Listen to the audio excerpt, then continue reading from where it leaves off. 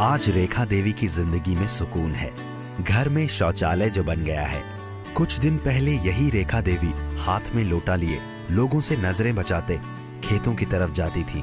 शर्मिंदगी के साथ साथ किसी अनहोनी का डर भी लगा रहता था। शौच जैसी ज़रूरी बात भी वक्त और मौसम का मोहताज हुआ करती थी।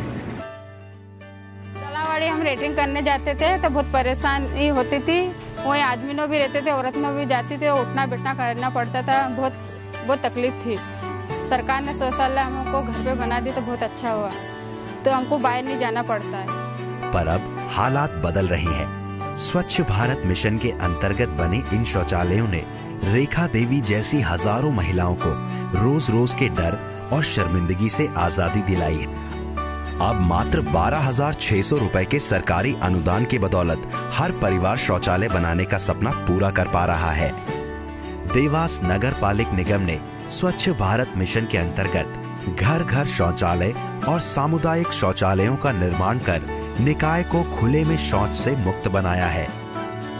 इसके साथ ही सामुदायिक शौचालयों की रोज़ाना साफ़ सफ़ाई भी कराई जा रही है, जिससे बीमारियाँ ना फैल सके।